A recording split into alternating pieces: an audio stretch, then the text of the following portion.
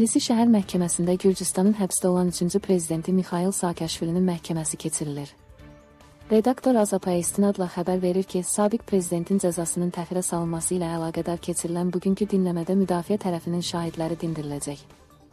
Mixail Saakəşvili özü isə iclasda müalicə aldığı klinikadan onlayn qoşularaq iştirak edir.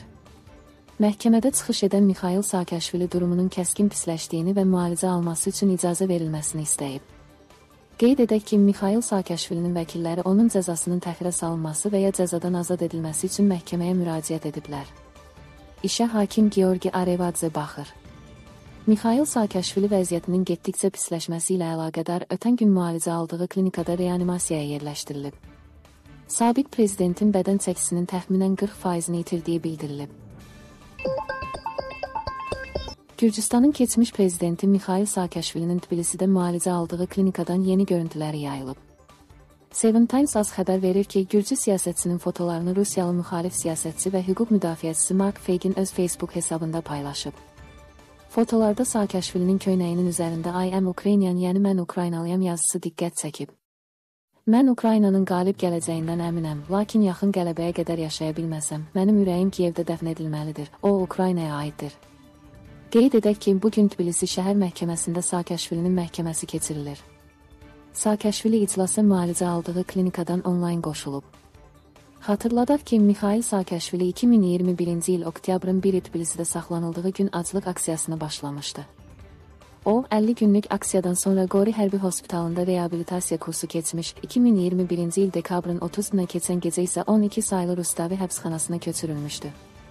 Cari ilin mayında uzun müddət davam edən aclıq aksiyasından sonra müalicə alması üçün Tbilisidə klinikaya köçürülüb.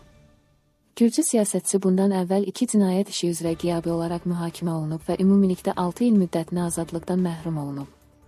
Saakəşvili fevralın 21-də müddətsiz aclıq aksiyasını təkrarlamışdı.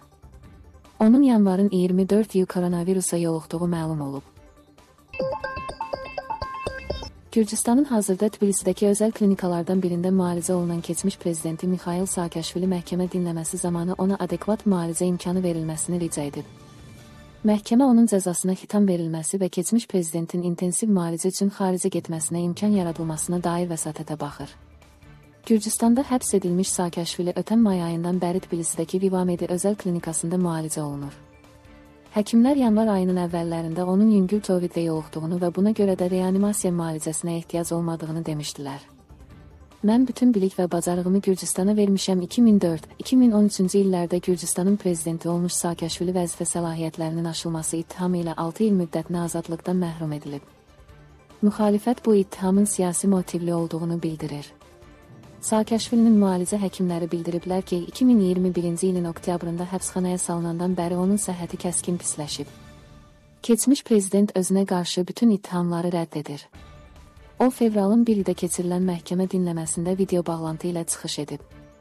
Mən bütün bilik və bacarığımı Gürcüstana vermişəm, indi etdiyim yeganə rica mənə adekvat müalicə almağım üçün imkan yaradılmasıdır. Hakim video bağlantını dayandırıb Saakəşvilinin məhkəmə dinləməsində çox saylı texniki nasazlıqlar baş verib. Bir epizodda Saakəşvili xəstəxana köynəyini qaldıraraq bədəninin nə qədər zəiflədiyini göstərib. Hakim video bağlantını dərhal dayandırıb və keçmiş prezidentə əynini tam geyindikdən sonra efirə qayıtmağa çağırıb. Bu dinləmədən bir gün əvvəl Saakəşvilin yaxınları onun reanimasiyaya keçirildiyini bildirmişdilər.